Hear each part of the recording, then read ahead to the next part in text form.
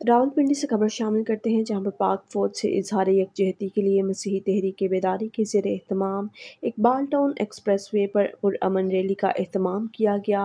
इस मौका पर खिताब करते हुए मसीही तहरीक बेदारी के सूबाई सदर शहजाद इमरान सोहरा ने कहा है कि पाकिस्तान और अफवाज पाकिस्तान हमारी रेड लाइन है, किसी को अबूल करने की इजाज़त नहीं देंगे।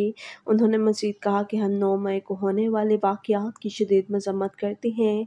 दिल्ली से मुख्तलिफ़ मकतबा फ़िक्र से ताल्लुक़ रखने वाली शख्सियात ने खिताब किया, जिनमें बिशप फ़ारूक जावेद, अकरम गिलहनो, सोहतरा, बाबर शहजाद सोहतरा, सुहेल इश्तियाक, कैसर मसीह इश्तियाक गौरी शामिल थे। याद रहे कि रैली का अहतमाम चेयरमैन मसीही तहरीक बेदारी डॉक्टर आदिल फौरी की हिदायत पर किया गया।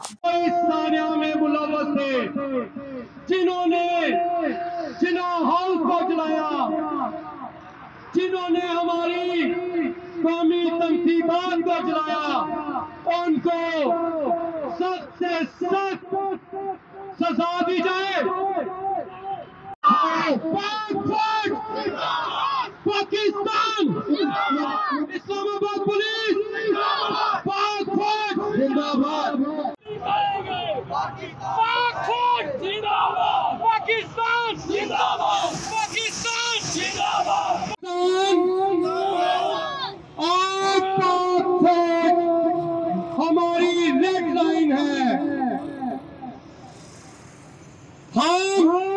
हम वतन पाकिस्तानी है। जब भी पाकिस्तान पे कभी कोई ऐसा वक्त आया, मसीह अपने हम मतलों का शाना बचाना खड़ी रही। हम नौ मई के वाकत में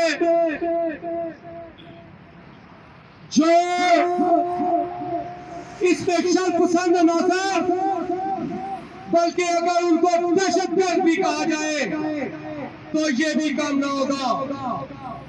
जिन लोगों ने जिन अनासर ने हमारे पुलिस के जवानों को जख्मी किया, हमारी फौजी तंसीबात को चलाया निशाना बनाया वो मुल्क वतन पाकिस्तानी नहीं हो सकते। हम हकूमत वक्त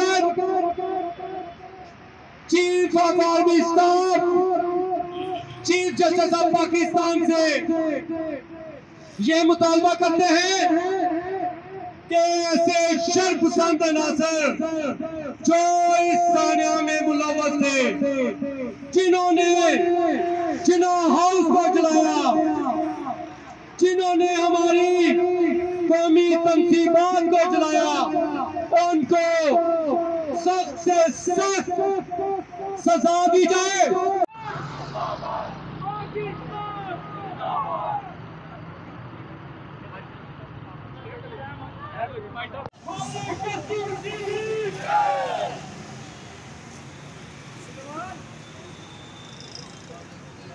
John,